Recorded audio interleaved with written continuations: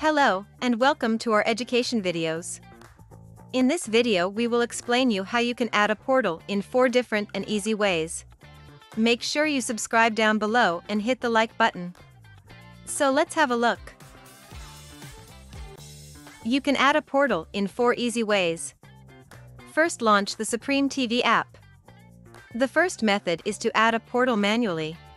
After you've launched the Supreme TV app, you get to see the box account screen. Enter the portal name and the portal URL with the remote control.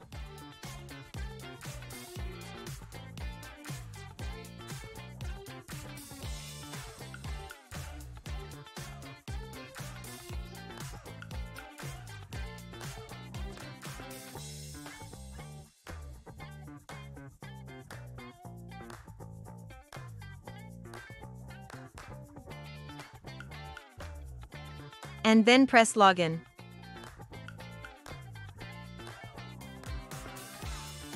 The next method is to add through what we call web add. Press on web add, you can either scan the QR code or visit the URL that is shown on the screen using the code on the screen.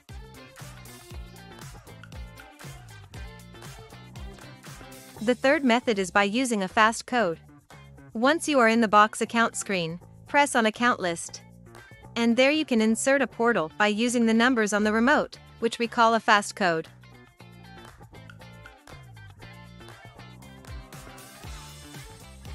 Contact your reseller for the fast code for your portal. Once you have pressed the 4 digits fast code, the portal should appear on the screen. Afterwards, you can select your portal and press connect.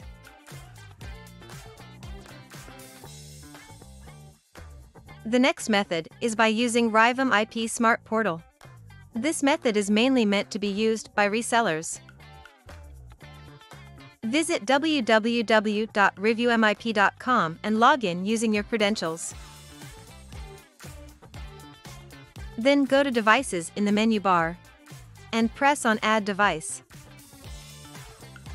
On this page, you will have to fill in the device ID, which consists of 12 characters.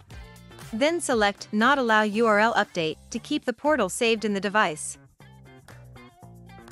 And then type your portal URL. The type of URL is automatically chosen as a server. If you choose to add AM3U make sure you select M3U. You can also add information such as the owner of the device. And then press save and reload the Supreme TV app to load the portal.